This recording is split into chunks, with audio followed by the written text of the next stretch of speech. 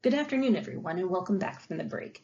My name is Katherine Tyner, and I'll be starting off session four by giving a talk on the history and the rationale behind our recommendations for in vitro feeding tube testing of drug products being delivered through enteric feeding tubes. I'll be followed by my colleague, Dr. Mamta Kapoor, who will be discussing some case studies on these in vitro testing of feeding tubes and we'll finalize session four by having a talk by my colleague, Dr. Mingli Chui on locally acting GI drug products. So I'll start by talking about the history of enteric feeding tubes, as well as some of the laboratory testing that went into our understanding of the risks of forming clogs when administering drug products through feeding tubes although then go into a list of some of the in vitro testing recommendations that we have developed. And finally, I'll talk about applying those lessons learned um, to a specific product and a product-specific guidance, specifically lansoprazole orally disintegrating tablets. So first, a history of enteral feeding tubes, which I'll now call feeding tubes for the rest of the talk. Feeding tubes are medical devices, and they're used to allow for the delivery of food and medicine, and for this talk we'll be focusing on the medicine, for patients who are unable to swallow oral dosage forms for a variety of medical reasons. There are many types of classes of feeding tubes, and they're based upon where the tube enters the body, as well as where it ends in the GI tract. In addition, there are a wide variety of tubing within those classes, and that can vary by the size of the tubing, what the tube is made out of, the tube geometry, the ports and the connectors, and on and on.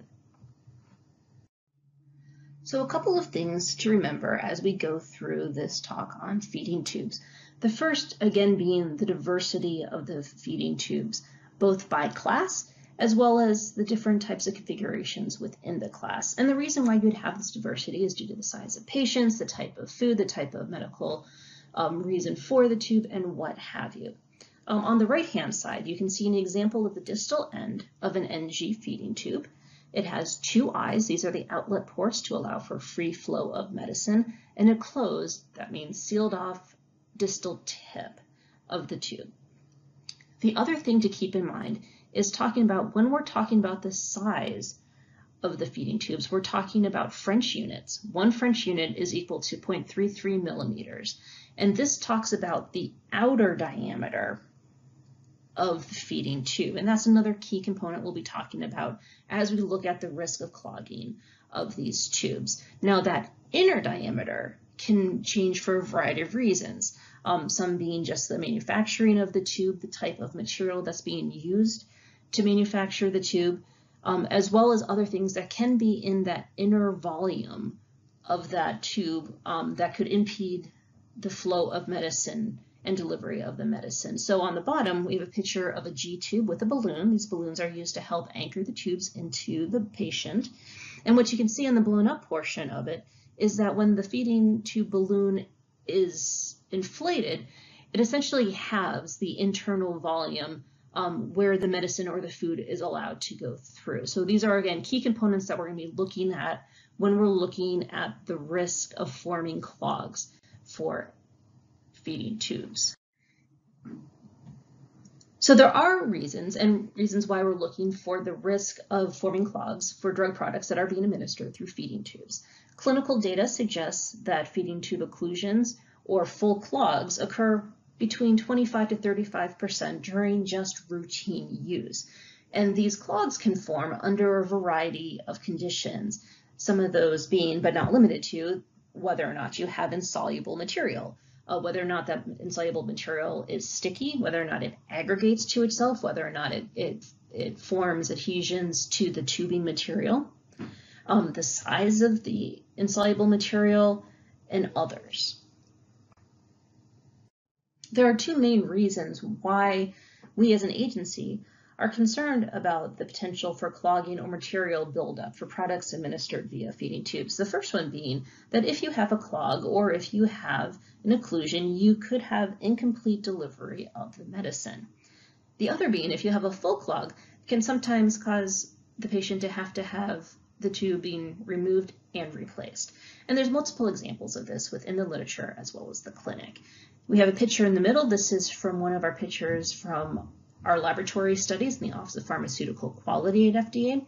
You can see it's an NG tube that has an occlusion in the, the tubing portion, as well as a full clog in the inlet port. So as I alluded to in the previous slide, the FDA has performed laboratory studies to assess the risk of various conditions on the delivery of drug products via these feeding tubes. And this work was done within the Office of Testing and Research, within the Office of Pharmaceutical Quality here at FDA. I have at the bottom a link to one of the publications from this work. And this work really looked at a variety of conditions and a variety of tests that can be used to assess the risk of clogging of these feeding tubes. There were a couple of key findings from these studies. The first being that the design of the feeding tube, specifically the size of that internal diameter, really affects the risk of tube obstruction. So this would be the size of that internal diameter as well as if there was a gastric balloon which has that internal volume.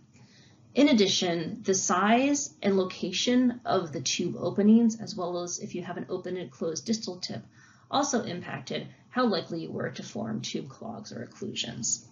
Interestingly, the length of the tubing did not have an effect on the risk of clogging. Another key finding was that rinsing and flushing step of the tube after administration of the drug product was critical to fully administer the dose. Based on our studies and experience, the FDA has developed recommendations for using in vitro testing to assess the risk of clogging for drug products administered through feeding tubes. And we look at both the quality as well as the bioequivalence for generic products. For quality, we're going to be looking at the recovery testing. How much of the drug you've administered through the top of the tube comes down through the end of the tube under a variety of conditions. And these conditions are going to be the in-use conditions that you're going to see in the product label. So that would be a holding time if it says that you can have the, the preparation of the material for a certain amount of time, that would be the hold time. Repeat administration, so that's if the drug product is administered multiple times throughout the day, as well as looking at sedimentation, volume, and redispersibility testing. This is a very much a visual test where you can see whether or not the sedimentation of the insolubles is sedimenting, such as you can see on the right, or also floating throughout the dispersion, as also can be indicated by the figure on the right. For bioequivalence, you're looking at the test product versus the reference product, and that would also involve recovery testing, typically 12 units, as well as a particle size distribution study. If you have enterically coated granules, then acid resistance would also be put into play. Key caveat here is when we are talking about the in vitro testing recommendations, we are excluding oral solutions because oral solutions present a very low risk for forming clogs or occlusions because you have no solid to do so. So when we're talking about the in vitro testing recommendations, we are talking about ones that have either insoluble excipients or insoluble API. Now, when we talk about the considerations when developing those in vitro tests, we're talking about which class of tubing you're using, whether it be NG, G, or what have you, how that drug product is prepared for administration through the tubing. And all of this can be found based upon the proposed administration that is typically found in the package insert of the drug product. So let's go ahead and look at a case study and work through how we would look at the risk as well as the different testing conditions that would, we would use for a feeding tube study. And for this case study, we'll look at lansoprazole delayed release orally disintegrated tablets. Now I've copied a bit from the product insert um, for the administration of this product um, through NG tubes. And so you can see that it says that the product can be administered through a nasogastric tube um, with a French diameter of 8 or greater. It also goes on to talk about the administration conditions, such as how the tablet is dispersed in a solution, in this case water, um, how it's uh, shaken gently to allow for a quick dispersal, and that the product can be held up to 15 minutes, that would be the whole time, before injecting the dispersion through a nasogastric tube. Then comes the very important flush step of refilling the syringe with, again, water, shaking and getting the rest of that dispersion through the nasogastric tube. And one thing I want to point out before we go into kind of the, the thought behind how we would assess the risk and the testing that is um, requested. What I would like to point out is that for the majority of products that have enteric feeding tube indications, you will be able to find some recommendations on the testing considerations in the product specific guidances. And this is one of the examples for lansoprazole. But if you do have a specific product that you're looking at, please do go to the product specific guidance webpage and see if it has a specific section on, on the feeding tube testing. In most cases, you will find that. All right, so let's walk through what we're looking at when we're doing that risk assessment and looking at what we would want to look at for the potential of this product to clog during administration through a feeding tube. So first thing we're going to be looking at is the formulation. So it's an orally disintegrating tablet. That means it has insoluble excipients within it. Um, it's delayed release. It has delayed release microgranules. These will be enterically coated. This will be important when we start thinking about the pH of the media, especially the water, that the product will be dispersed in prior to administration through that tube. And then granules. So we have microgranules. They're a large particle size. You can see them by eye. So that would be another risk factor to consider in the formulation. Then we go ahead and look at the conditions of use.